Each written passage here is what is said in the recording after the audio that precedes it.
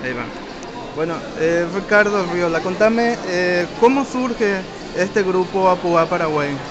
El grupo Apuá surge a partir de... mm, eh, no- nos juntamos muchos jóvenes paraguayos residentes en Buenos Aires, la mayoría estudiantes o trabajadores en el área artístico-cultural. Algunos están de, de muchas disciplinas artísticas. Eh, están de teatro, hay de audio- audiovisuales, eh, yo estoy haciendo gestión cultural y mm, la idea cuando nos juntamos en, en un principio fue mm, aunar los esfuerzos individuales de cada uno para, eh, con, el- con la idea mm, de promocionar, promocionar lo nuevo que, que hay en Paraguay. Eh, porque la mayoría de las organizaciones de paraguayos en Argentina promocionan lo, lo- lo tradicional, lo folclórico. Nosotros queremos mostrar eh, la- las nuevas cosas que están surgiendo en Paraguay en la mayoría, de las, la mayoría de las disciplinas, en audiovisuales, por ejemplo, las nuevas películas que están habiendo en Paraguay. Queremos eh, generar como un puente cultural entre ambas, ambos países para visibilizar a- al Paraguay y que se, que se conozca más allá de, eh, de los estereotipos que se manejan en general en, en Argentina. Como la idea es eh, como ir mostrando eso o- como otra parte de Paraguay para que se conozca realmente toda la diversidad existente en Paraguay desde lo, eh, lo, lo folclórico también, pero lo folclórico releído y eh, lo, lo hecho ahora. Ah, lo Sí, contemporáneo. lo contemporáneo, Sí. claro. ¿Y hace cuánto tiempo surgió este grupo? Y el, el grupo surgió a finales del año pasado, en 2013, en noviembre, fue la primera reunión.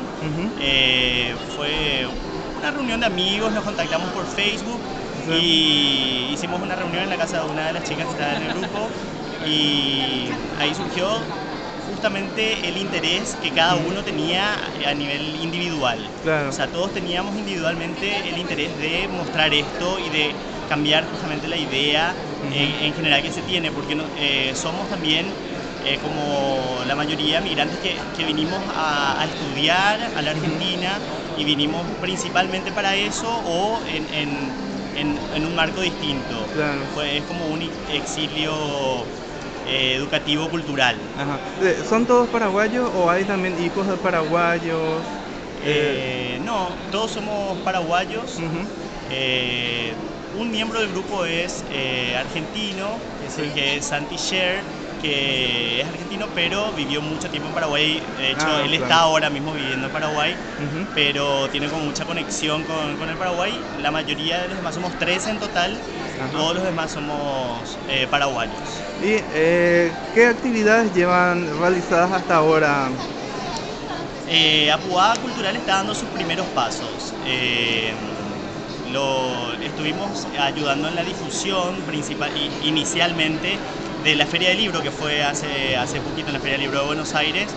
Y eh, lo, lo- lo primero, lo, lo concreto de Apuá es eh, esta presencia en Mixur, que vinimos invitados por la Secretaría Nacional de Cultura de Paraguay Ujú. para atender el stand acá en, en Mar del Plata.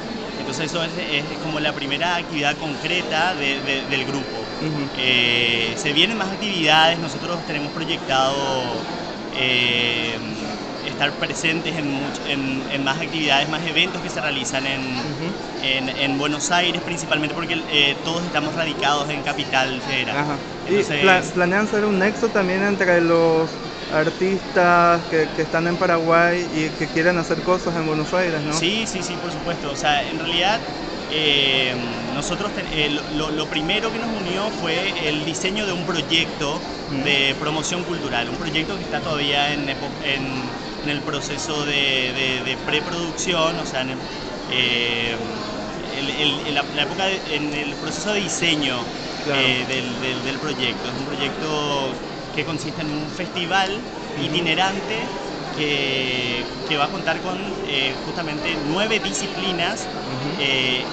de arte, eh, de manifestaciones artístico-culturales, no solamente artísticas, porque queremos también, aparte, hacer talleres, dar eh, seminarios de personas, de paraguayos residentes en Argentina y también de algunos paraguayos que vengan de Paraguay a mostrar lo que está ocurriendo allá. ¿Eso sería este año? Y está, está proyectado para, para agosto, pero todavía estamos, estamos pensando, todavía no tenemos definida una fecha, pero sí, o sea, después de, esta actividad de Mar del Plata, nos vamos a poner las pilas con eso y vamos a, a definir muchas cuestiones con respecto al proyecto. Eh, por último, ¿por qué APUA Paraguay? APUA. Eh, una de las reuniones que tuvimos eh, fue como, definir, eh, como para sentar las bases del grupo en un, en un principio, en diciembre del año pasado, pensamos, bueno, tenemos que ponerle un nombre.